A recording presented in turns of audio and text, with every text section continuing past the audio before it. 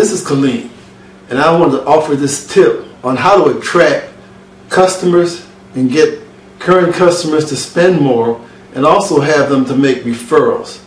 Have you ever wondered what is it that Apple Computer, Nike, and Starbucks do to have people standing in line to pay their prices? Well, I can get fancy with it, but what it is is they practice inbound marketing strategies, or what I refer to as magnetic marketing. How to attract people that want to buy from you. And this is something that you can do regardless of the size of your business. Whether you're a small business owner, an author, a photographer, hairdresser, you can use magnetic marketing strategies yourself.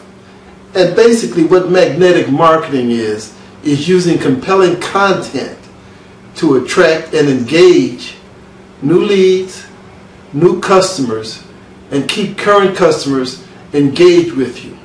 And you take this content and you distribute it on different marketing channels and platforms, such as your social media channels, your email mailing list, blogging, podcasting, your mobile platforms, and YouTube.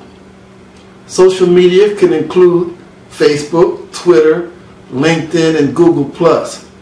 What's important to understand here is it isn't about blasting your marketing message to people any longer.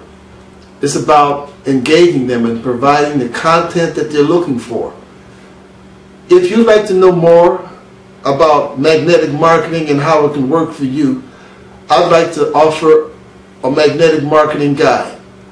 Do this. Simply text your email address to 213-344-5780 and let me give you a free magnetic marketing guide that will explain better to you what magnetic marketing is, how you can implement it, and as a result, attract more customers, get current customers to pay more, more often, and to develop happy fans into raving fans who will tell all in their network, their family, and their friends the benefits of doing business with you so that you will profit from referrals.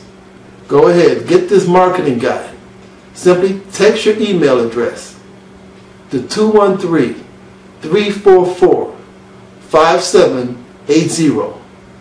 Magnetic marketing is what you and I should be practicing. Thanks for watching and listening.